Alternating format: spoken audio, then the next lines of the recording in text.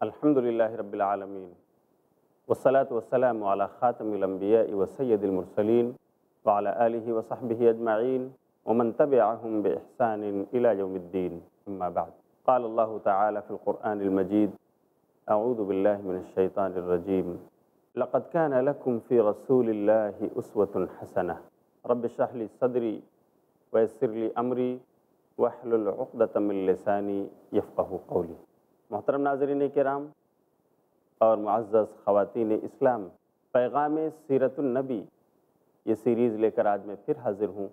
آج کے درس میں آپ کا خیر مقدم ہے۔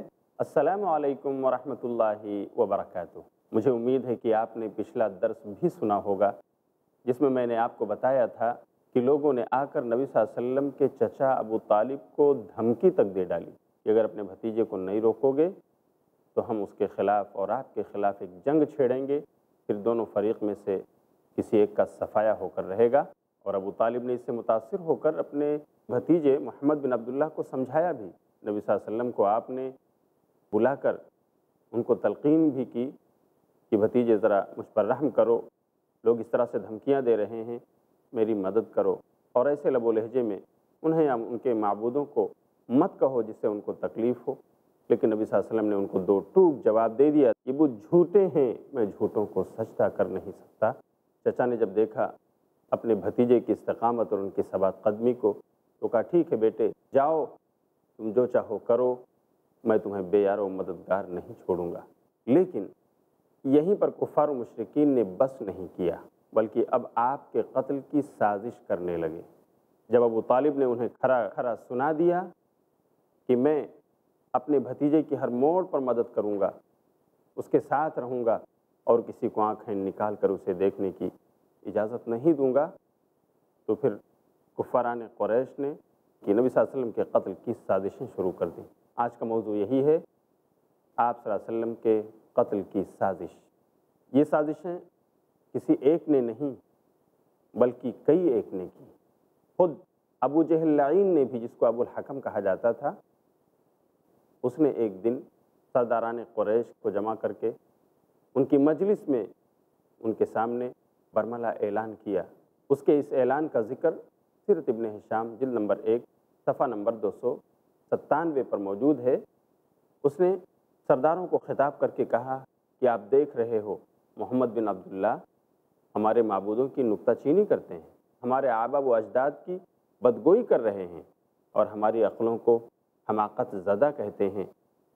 حماقت کا الزام ہم پر لگا رہے ہیں۔ ابو جہل نے کہا، اللہ کی قسم میں عہد کرتا ہوں کہ کل مسجد حرام میں جا کر کے ایک وزنی مشکل سے اٹھنے والا پتھر لے کر بیٹھا رہوں گا اور محمد بن عبداللہ جیسے ہی حرم میں جائیں گے، عبادت کرنے کے لیے سجدہ کریں گے، تو میں یہ بھاری پتھر انہیں دے ماروں گا۔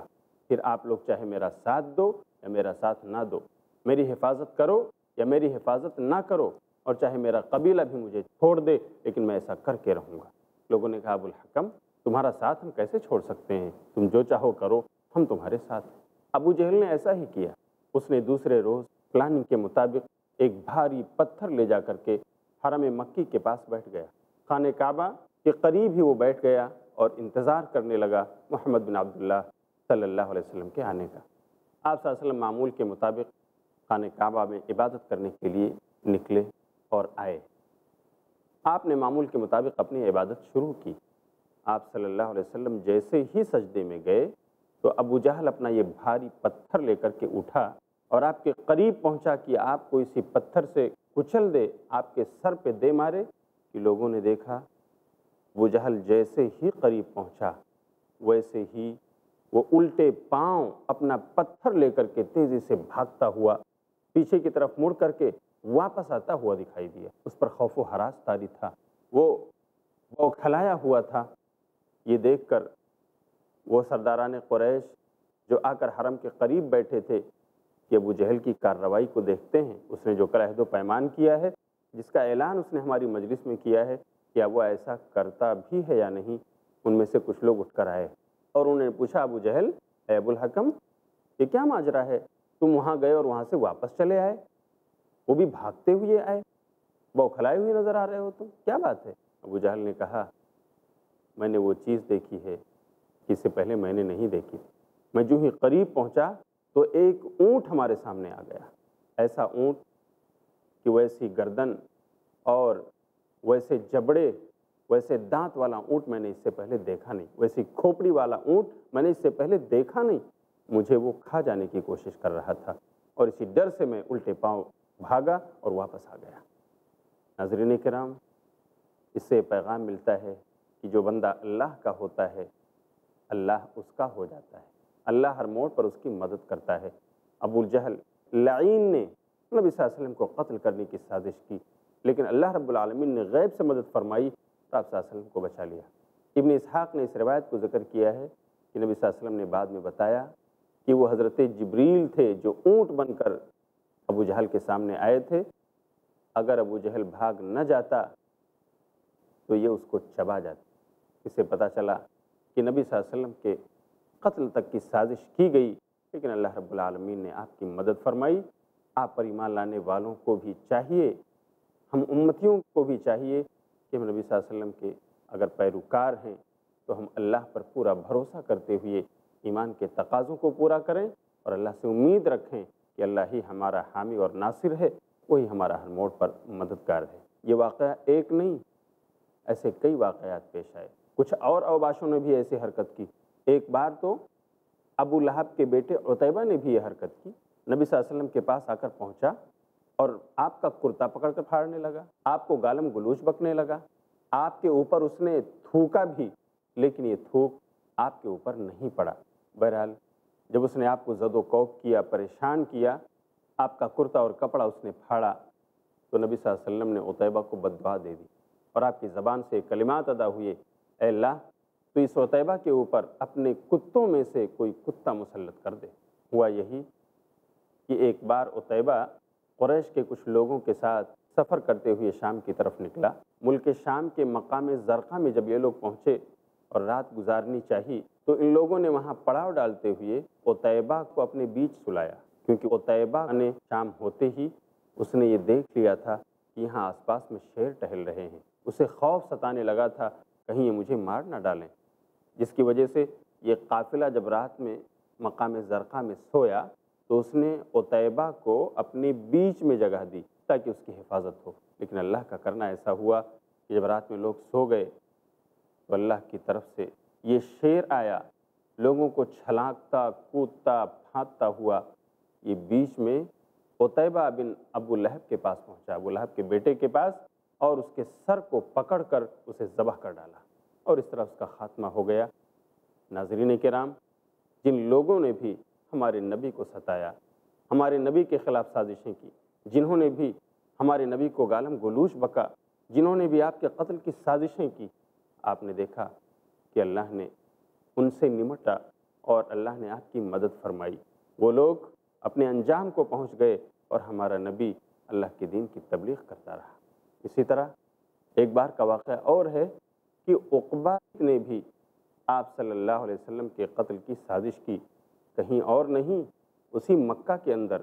مکہ میں خانہ کعبہ کے اندر جب آپ صلی اللہ علیہ وسلم حتیم کے اندر نماز پڑھ رہے تھے۔ حتیم خانہ کعبہ کا وہ حصہ ہے جو ایک زمانے میں خانہ کعبہ کے اندر تھا، لیکن بعد میں جب اثر نو اس کی تعمیر ہوئی، پیسے کم پڑ گئے تو اتنا حصہ چھوڑ دیا گیا اور کم ہی حصے میں خانہ کعبہ کی تعمیر ہوئی۔ اسی لیے حتیم کا وہ حصہ جو آپ دیکھتے ہیں ناظرین، اگر اس میں کوئی نماز پڑھ لے تو گویا اس نے خانہ کعبہ میں نماز پڑھی۔ یہ اس کی فضیلت ہے۔ یہ واقعہ اقبا کا، اس کے قتل کی سازش کا امام بخاری نے نقل کیا ہے۔ اپنی صحیح بخاری کے اندر۔ صحیح بخاری، کتاب و فضائل اصحاب نبی تین ہزار چھ سو اٹھہتر نمبر کی حدیث میں۔ وہ واقعہ یہ ہے کہ نبی صلی اللہ علیہ وسلم خانہ کعبہ میں نماز پڑھنے کے لیے گئے اور آپ حتیم میں کھڑے ہوئے۔ وہاں کچھ اور بھی لوگ قریش کے موجود تھے۔ اسی بن ابھی معیت آیا۔ اس کے پاس ایک چادر تھی جسے وہ اوڑھا ہوا تھا۔ اس نے اپنی چادر اتار کر نبی صلی اللہ علیہ وسلم کے گردن میں ڈالی۔ اور آپ کو زور سے دبوچا۔ ایسا لگتا تھا کہ آپ کی جان گھٹ جائے گی، آپ کا دم نکل جائے گا کہ اتنے میں ابو بکر صدیق رضی اللہ تعالیٰ عنہ وہاں پہنچے۔ بلکہ روایت میں آتا ہے کہ ابو بکر کہیں موجود تھے اور انہیں یہ آواز سنائی دی کہ اپنے ساتھی کی مدد کرو، دوڑو، اپنے ساتھی کی مدد کرو۔ یہ سن کر ابو بکر صدیق رضی اللہ تعالیٰ عنہ دوڑتے ہوئے آئے۔ خانہ کعبہ میں دیکھا کہ نبی صلی اللہ علیہ وسلم کو ستایا جا رہا ہے۔ اقبا نے اپنی چادر پکڑ رکھی ہے۔ آپ کے گردن کو جکڑ رکھا ہے۔ ابو بکر پیچھے سے آ کر انہوں نے اقبا کے دونوں موڈھوں کو، کندھوں کو پکڑا اور جھٹک دیا، اس کو نبی صلی اللہ علیہ وسلم سے دور کر دیا۔ اس طرح آپ صلی اللہ علیہ وسلم کو اللہ رب العالمین نے بچایا، آپ کی مدد کی اور اقبا بن نبی معید کو رسوا کیا۔ ناظرین کرام، اس طرح نبی صلی اللہ علیہ وسلم کے قتل کی سازشیں ہوتی رہیں، لیکن اس میں کچھ مثبت پیغام بھی امت کو ملا۔ ایک وقت آیا کہ حضرت حمزہ رضی اللہ عنہ جیسے صحابہ کرام انہی کی اظہار ثانیوں کو دیکھ کر وہ لوگ اسلام میں داخل ہو گئے۔ انشاءاللہ میں اگلے درسوں میں آپ کو بتاؤں گا۔ لیکن ابھی بات چل رہی ہے آپ کے قتل کی سازش کی۔ فانوس بن کے جس کی حفاظت ہوا کرے۔ فانوس بن کے جس کی حفاظت ہوا کرے، وہ شمع کیا بجھے جسے روشن خدا کرے۔ اللہ نے ہر موڑ پر آپ کی حفاظت فرمائی۔ لیکن یہ شریر اور قریش کے یہ اوباش آپ کو تکلیف دینے، آپ کو ستانے، آپ کو برا بھلا کہنے، بلکہ آپ کو قتل کرنے کی سازش سے باز نہیں آئے۔ ایک بار کا اور واقعہ ہے کہ یہی ابو جہل جسے لوگ ابو الحکم کہا کرتے تھے، ایک بار نبی صلی اللہ علیہ وسلم کوہ صفحہ کے پاس سے گزرے۔ ابو جہل وہیں پر تھا تو اس نے آپ صلی اللہ علیہ وسلم کو گالیاں دی آپ کو برا بھلا کہا، آپ خاموش رہے، آپ نے کوئی جواب نہیں دیا۔ لیکن اتنے میں اس اوباش نے، اس خبیص فطرت انسان نے پتھر اٹھایا اور آپ صلی اللہ علیہ وسلم کے سر پر دے مارا۔ یہ پتھر آپ کے سر میں اتنا سخت لگا کہ اس سے خون بہ پڑا۔ آپ کا سر پھوٹ گیا اور آپ شرابور ہو گئے۔ یہ پورا واقعہ اس وقت ایک خاتون دیکھ رہی تھی جو لونڈی تھی، جس کا مکان کوہ صفا کے اوپری حصے پر تھا۔ اتفاق سے اس دن حضرت حمزہ رضی اللہ تعالیٰ عنہ جاب صلی اللہ علیہ وسلم کے چچا ہیں وہ کہیں شکار پر گئے ہوئے تھے، شکار سے واپس ہوتے ہوئے، اپنی کمان لٹکائے ہوئے، اپنی تلوار کو لیے ہوئے، یہ مکے واپس پہنچے۔ وہ لونڈی جس کا مکان کوہ صفا پر تھا اور جس نے ابو جہل کا یہ تمام کارنامہ دیکھا کہ وہ کس طرح محمد بن عبداللہ کو ستا رہے ہیں، گالم گلوچ دے رہے ہیں، آپ کے سر پر پتھر مار کر آپ کو زخمی کر رہے ہیں، یہ سارا واقعہ اس نے حضرت حمزہ رضی اللہ تعالیٰ عنہ کو جو اس وقت اسلام نہیں لائے تھے، انہیں کہہ سنایا۔ حضرت حمزہ غصے سے بھڑک اٹھے اور وہیں سے وہ چل کر کے خانہ کعبہ کی طرف آ کر نکلے۔ اور آپ نے آ کر کے دیکھا کہ حرم میں ابو جہل وہاں موجود ہے۔ چلتے ہوئے اسی کے سر کے پاس جا کر پہنچے۔ اسے پکڑا اور کہا، بڑی سختی کے ساتھ انہوں نے کچھ جملے ادا کیے۔ حالانکہ وہ اس وقت مسلمان نہیں تھے، غیر مسلم تھے، لیکن بات قبیلے کی تھی۔ آپ کے بھتیجے محمد کو ستایا گیا تھا۔ اس لیے حمزہ کہتے ہیں، ابو جہل، تو نے میرے بھتیجے کو گالی دی ہے۔ اتنے میں اپنی کمان نکال کر ابو جہل کو دے مارا۔ ابو جہل کے سر میں اس قدر مارا کہ اس کو بہت چوٹ آئی اور جس کی وجہ سے ابو جہل کا قبیلہ قبیل بنو مخصوم اور حضرت حمزہ کا قبیلہ قبیل بنو ہاشم ان دونوں میں ٹھن گئی۔ یہ دونوں تو تو میں کرنے لگے، لیکن ابو جہل نے کہا کہ ٹھیک ہے ابو عمارہ کو جانے دو۔ یہ ابو عمارہ کنیت تھی، حضرت حمزہ رضی اللہ تعالیٰ عنہ کی۔ ابو جہل کہتا ہے ابو عمارہ کو جانے دو، کیونکہ ابو عمارہ کے بھتیجے کو میں نے ستایا ہے، یقیناً میں نے ان کو گالی دی ہے، میں نے ان کو مارا بھی ہے۔ اس طرح سے معاملہ رفع دفع ہو گیا۔ لیکن ناظرین، آپ دیکھ رہے ہیں کہ ابو جہل جس کی فطرت میں خباصت بھری ہوئی تھی، اس نے نبی صلی اللہ علیہ وسلم کو کسی بھی موڑ پر ستانے میں کوئی کثر نہیں چھوڑی۔ لیکن ہر موڑ پر اللہ رب العالمین نے آپ کی مدد فرمائی، بلکہ یہی واقعہ جو ابو جہل نے انجام دیا، یہی واقعہ سبب بنا حضرت حمزہ کے اسلام لانے کا۔ حضرت حمزہ نے اس وقت ابو جہل کو ڈانٹتے ہوئے یہ بھی کہا تھا کہ کیا تو نے میرے بھتیجے کو گالی دی ہے؟ حالانکہ اب میں اس کے دین میں آ چکا ہوں۔ میں نے اس کے دین کو مان لیا۔ ہے یہ جملہ حضرت حمزہ نے اس وقت اپنے قبیلے کی حمیت میں انہوں نے کہا تھا۔ حقیقت میں وہ اسلام نہیں لائے تھے۔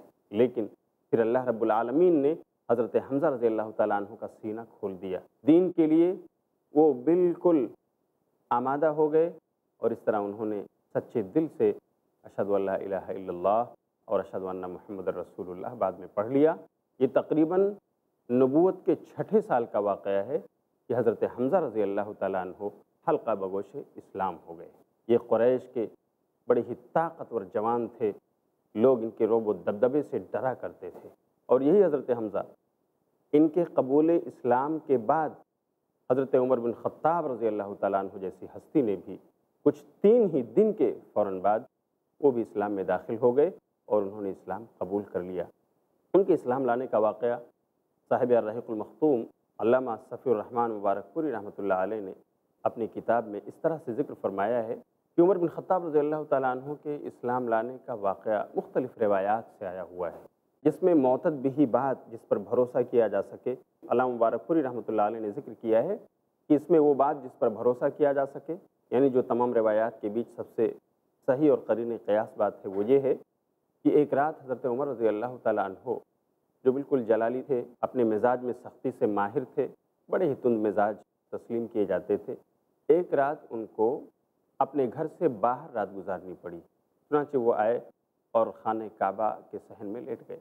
انہوں نے سنا کہ نبی صلی اللہ علیہ وسلم محمد بن عبداللہ یا کر عبادت کر رہے ہیں اور قرآن کی تلاوت کر رہے ہیں، جس میں سور حاقہ پڑھ رہے ہیں۔ عمر بن خطاب رضی اللہ تعالیٰ عنہ سوچنے لگے کہ لوگ کہتے ہیں کہ یہ تو شاعر ہیں۔ اتنے میں نبی صلی اللہ علیہ وسلم نے قرآن کی یہ آیت تلاوت کی ان